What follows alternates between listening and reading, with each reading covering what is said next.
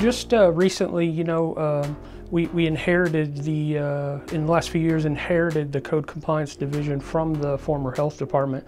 And we thought that it was, uh, for, for cohesiveness, it was a great fit here because we already, you know, have the building inspections division here. So it kind of ties in with a, a, lot of the property maintenance items that we come up with. Yeah, so we'll receive a complaint. Um, we have seven code officers that are dispatched to different areas of the city, and we have one roving officer. Um, they'll go out and investigate the complaint, find any code violations that they may have there, and there could be, you know, various different types.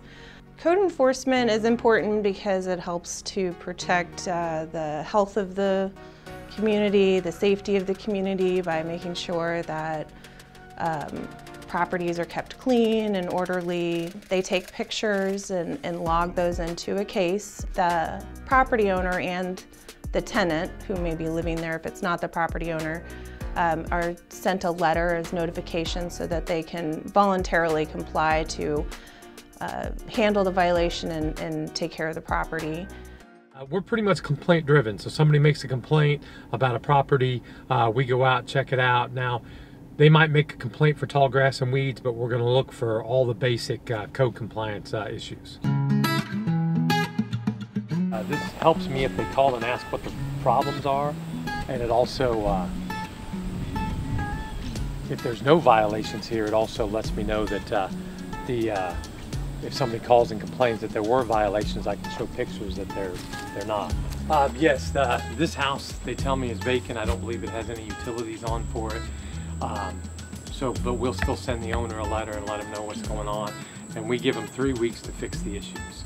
Most of our calls are pretty simple when it comes to tall grass and weeds, unlicensed vehicles, violations like that, especially when it comes to uh, vacant properties. We go in, we take pictures, we'll go out to the property, take pictures, uh, document what the violations are, and then we send them a letter.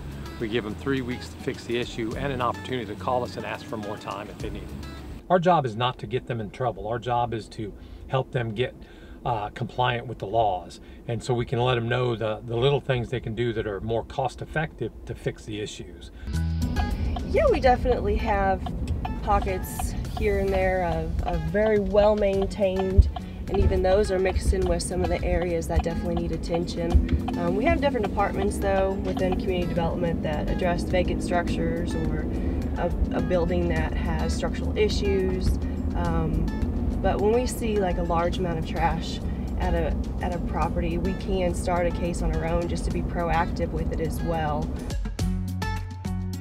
See this non-operable vehicle doesn't have a license plate, it's parked in the grass, it's wrecked. Um, again, all against city ordinance. I'm gonna try and make contact with the resident here. Wasn't able to make any contact with the resident here, so my next thing is I'll send a letter to them giving them time to make the correction dates or give me a call so they can get more time so we can work with them to, to rectify the, the complaint here.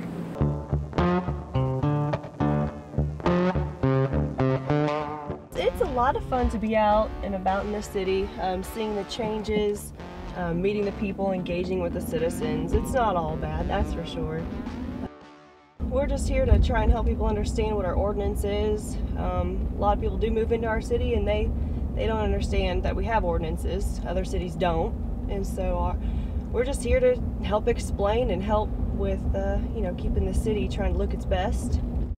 I think it's important that we educate citizens on what codes are, um, but I think citizens can also help by just giving us a call um, letting us know if they are seeing something that's out there that we need to go and take care of or take a look at. Um, they can call us or they can file it online. The code is posted online. It's going to be mostly in chapter four. Um, but also there is a quick guide online called Know the Code on the code enforcement webpage. Um, and that's the, that Know the Code brochure that we have pretty much covers the most of the complaints that we get um, and just how to stay in compliance. If we're uh, keeping the citizens happy with uh, you know, uh, responding correctly to their complaints, um, handling them in a timely manner, you know, I consider that a success from a manager standpoint. You know, my favorite part of, of managing these divisions, um, especially the neighborhood services division, are the folks that work for us. That's my best, that's my favorite part about this job is that I get to work with such an efficient and, you know, um, uh, for lack of a better term, cool staff. They are, they're all great folks.